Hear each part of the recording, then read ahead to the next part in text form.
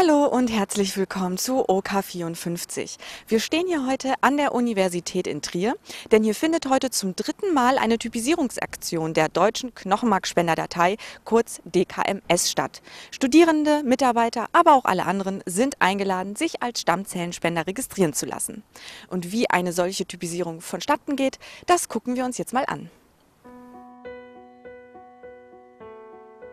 Die deutsche Knochenmarkspenderdatei kämpft seit 1991 gegen Leukämie und ist wie hier an der Universität Trier laufend auf der Suche nach Menschen, die sich als Stammzellenspender registrieren lassen wollen. Wir treffen zunächst auf Mitarbeiter von DKMS, die vor Ort jedem mit Rat und Tat zur Seite stehen und für einen reibungslosen Ablauf der Typisierungsaktion sorgen. So, wir stehen jetzt hier in dem Raum, in dem die Typisierungsaktion stattfindet. Neben mir steht Frau Giasi von DKMS. Hallo, Frau Giasi. Guten Tag. Vielleicht können Sie uns erstmal etwas über die KMS erzählen. Wofür steht sie? Welche Aufgaben und Zielsetzung verfolgt die KMS? Natürlich. Also die DKMS äh, steht natürlich für die Deutsche Knochenmarkspenderdatei Köln, äh, beziehungsweise wir sind von dem äh, Team Köln. Und ähm, wir möchten natürlich gerne ähm, im Kampf gegen Leukämie äh, potenzielle Spender für unsere Datenbank ähm, heute aufnehmen. Ähm, das läuft heute so ab. Wir äh, benötigen eine Einverständniserklärung, ähm, wo die Daten aufgenommen werden und ähm, eine Blutprobe von äh, 5 Milliliter, was heute entnommen wird. Und ähm, ja, das dauert allerhöchstens zwei bis fünf Minuten und äh, damit ist dann der erste Schritt äh, quasi getan. Wer kommt denn als Spender überhaupt in Frage? Wer darf denn spenden? Ähm, Im Grunde ähm, jeder ähm, im Alter zwischen 18 und 55 Jahre. Ähm, es müssen natürlich ähm, ähm, weitere Krankheitsfälle sowie chronische äh, Erkrankungen ausgeschlossen sein. Ähm, ja, wenn dies gegeben ist, generell alle. Ähm, vom Körpergewicht schränken wir das auch nochmal ein. Ähm, ab 50 bis äh, einem BMI-Wert von 40. Für die Durchführung einer solchen Typisierungsaktion ist die DKMS auf viele freiwillige Helfer angewiesen. So kümmern sich zum Beispiel Studenten um die Anmeldung zur Typisierung. Jedoch benötigt man auch Helfer, die sich mit der Blutentnahme auskennen. Eine von ihnen ist Frau Beate Horsch. Ich bin äh, MTA in einem kleinen Krankenhaus in Hermeskeil und kann dadurch die Blutentnahme ganz gut und helfe der DKMS. Ich bin auch selbst typisiert und hatte damals, äh, wir hatten uns aber mit so einem Tupfer, wir hatten das, äh, wussten von keiner Typisierungsaktion, das wurde uns zugeschickt und dann hatte, ist ja auf dem Formular, ob man helfen würde.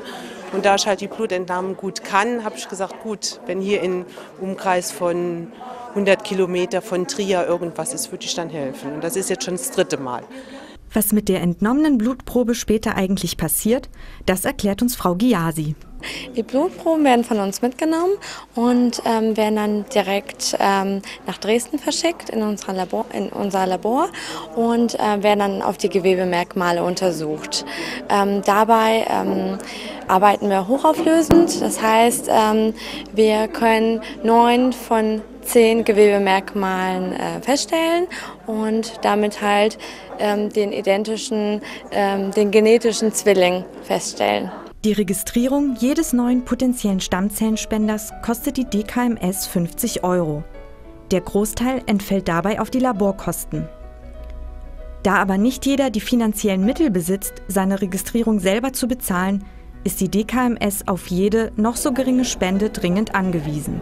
Die Typisierung einer Person soll schließlich nicht an deren finanziellen Situation scheitern. Dasselbe gilt auch für Probleme bei der Blutentnahme. Kommt es nach zweifachem Versuch zu Schwierigkeiten bei der Blutentnahme, besteht die Möglichkeit, sich mittels Speichelprobe typisieren zu lassen. Mit dieser Methode kann sich auch jeder von zu Hause aus als Spender in die Datei der DKMS aufnehmen lassen. Zu diesem Zweck wird einem ein Registrierungsset mit Wattestäbchen nach Hause geschickt.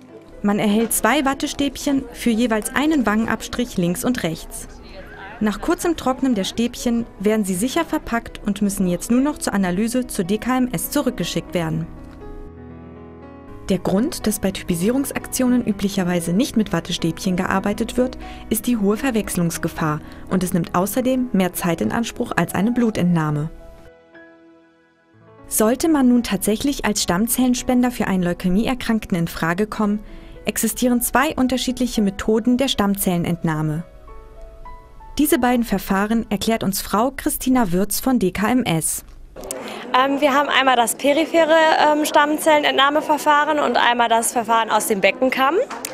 Ähm, zum peripheren Stammzellenverfahren ähm, kann ich sagen, dass der, Patient, äh, der Spender, Entschuldigung, ähm, der Spender ähm, an ein dialyseartiges Gerät angeschlossen wird. Er bekommt einmal rechts eine Nadel in den Arm, einmal links.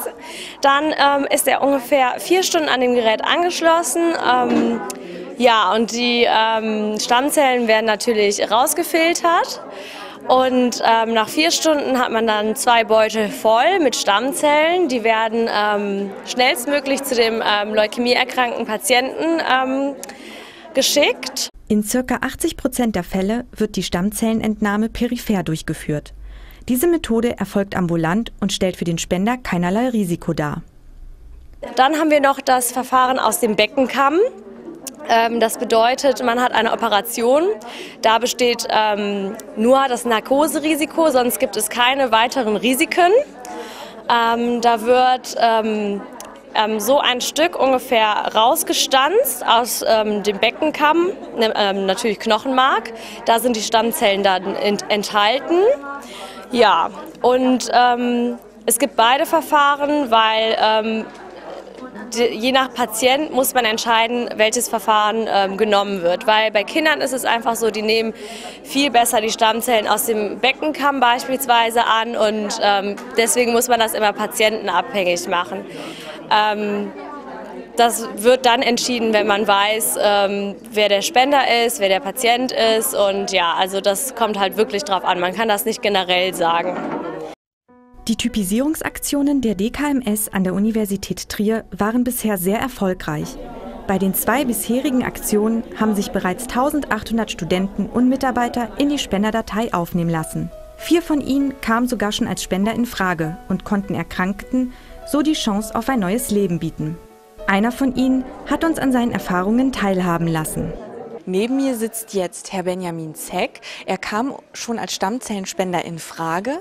Herr Zeck, erzählen Sie uns doch mal, wie das genau abgelaufen ist. Haben Sie da eine Nachricht erhalten oder wie war das? Also die DKMS hat mich da angerufen, dann wurde zunächst mal ein Fragebogen ausgefüllt, um ein paar grundsätzliche Dinge abzuklären. Ja, und äh, so ging das dann weiter mit äh, medizinischer Voruntersuchung. Ja. Und äh, wie lief dann die Stammzellenspende genau ab? Also in meinem Fall wurde die Stammzellentnahme durch Blutauswäsche getätigt. Ähm, das heißt, im Vorfeld musste ich fünf Tage mir ein Medikament spritzen, ähm, damit die Stammzellen aus dem Knochenmark, halt also aus den Knochen ausgeschwemmt werden können. Und in der Klinik wurde ich dann ein entsprechendes Blutauswäschegerät angeschlossen, ähm, bei dem das Blut aus dem einen Arm herausgelaufen ist, dann durch das Gerät läuft, wo die Stammzellen ausgewaschen werden, mir dann über den anderen Arm wieder zugeführt wird. Und das hat so ungefähr fünf Stunden gedauert in meinem Fall. Mit über zwei Millionen registrierten Spendern ist DKMS die weltweit größte Stammzellspenderdatei. So konnte seit Bestehen der DKMS bereits über 26.000 Patienten die Chance auf ein gesundes Leben geschenkt werden. So, liebe Zuschauer, nach diesen ganzen Informationen wird es jetzt für mich ernst. Ich gehe mich selber jetzt als Stammzellenspender registrieren. Zuallererst geht es zur Anmeldung, wo die wichtigsten persönlichen Daten erfasst werden. Es wird überprüft, ob eine Typisierung überhaupt in Frage kommt oder ob vielleicht ein Ausschlusskriterium auf einen zutrifft. Außerdem wird einem die Prozedur erläutert und man bekommt die Möglichkeit, sich über alles zu informieren, sofern man das noch nicht getan hat.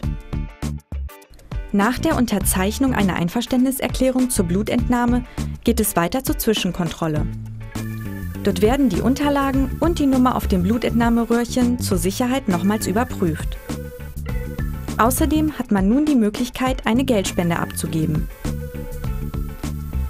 Danach kommt auch schon die Blutentnahme.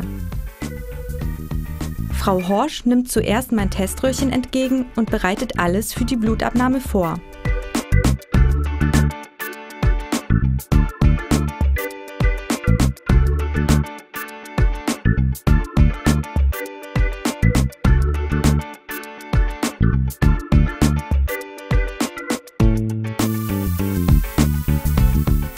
Nach einem kleinen Stich ist auch schon alles vorbei. Ich werde mit meiner Blutprobe zur Endkontrolle geschickt. Dort werden die persönlichen Unterlagen eingeheftet und die Blutprobe einsortiert. Der richtige Spenderausweis wird einem zu einem späteren Zeitpunkt zugeschickt. Auch bei dieser Typisierungsaktion haben sich viele Studenten in die Stammzellenspender-Datei aufnehmen lassen. Einige von ihnen verraten uns ihre Gründe dafür.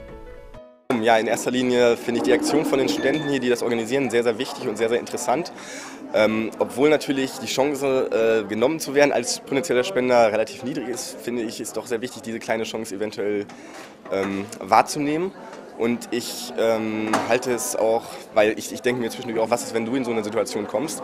Äh, von daher ähm, sehe ich es auch als wichtig, meine kleine Chance, meine kleine prozentuale Chance hier wahrzunehmen und zu sagen, okay, vielleicht bin ich derjenige, der jemandem spendet. Ähm, und ich das äh, sicherlich auch, denke ich mal, für die komplette Bevölkerung sehr wichtig finde, es wahrzunehmen. Ja, ich habe heute erst morgens das Schild gesehen und dachte gleich, ach, kann man ja einfach mal vorbeigehen. Mir schadet es nichts und anderen könnte was bringen. Und ja, deshalb dachte ich, mache ich einfach mal mit. Ähm, also zum einen mal müsste die Frage eher heißen, warum man es nicht macht. Und zum anderen äh, ist es ein großer Beitrag. Also man kann ja immer äh, jemand helfen, je nachdem, ob man passt oder nicht. Und ich glaube, es gibt nichts Schöneres, als wenn man jemand Leben retten kann oder irgendwas Ähnliches. Man kann zumindest helfen kann. So, liebe Zuschauer, das war die Typisierungsaktion 2011 der DKMS an der Universität Trier. Wie Sie sehen, ich lebe auch noch.